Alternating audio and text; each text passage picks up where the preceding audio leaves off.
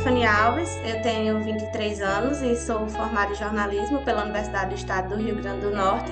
Meu trabalho, Porta de Trás, um documentário que eu fiz durante a graduação, para concluir a graduação, foi contemplado né, como primeiro lugar do quarto edital de jornalismo da educação. E eu vou falar um pouquinho sobre ele, né?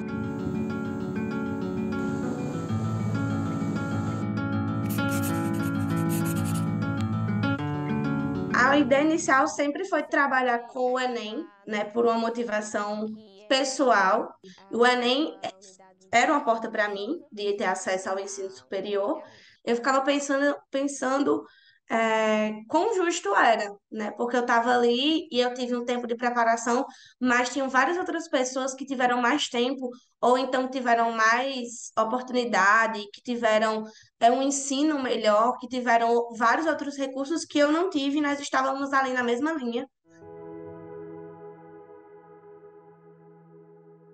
Quando eu tô num dia desanimada, aí eu penso, não, no futuro vai ser um futuro melhor. Aí eu já começo a me animar, já pego aqueles assuntos, pego eles e começo a estudar.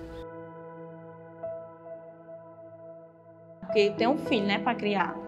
Eu não vou criar ele sem eu ter uma profissão direito. Estudar, vou me esforçar e vou ser alguém na vida. E acabou que, é, de uma forma ao acaso, né? Mas a parte também do, do triagem, de, de um critério também de, né, jornalisticamente falando, de escolha, eu tive duas grandes personagens com grandes histórias para falar no meu documentário. Eu tinha uma vontade, uma câmera e um tripé emprestado da minha orientadora para fazer acontecer. Contei com a ajuda de, de alguns de alguns auxiliares, né, como minha irmã, minha mãe, é, minhas amigas, envolvi, né, quem eu podia para me ajudar.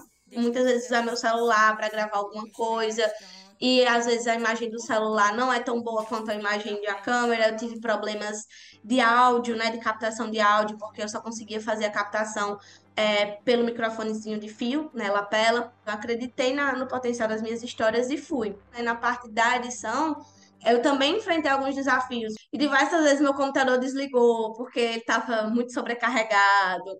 E, enfim, precisou de bastante paciência para conseguir é, e resiliência para ter esse resultado.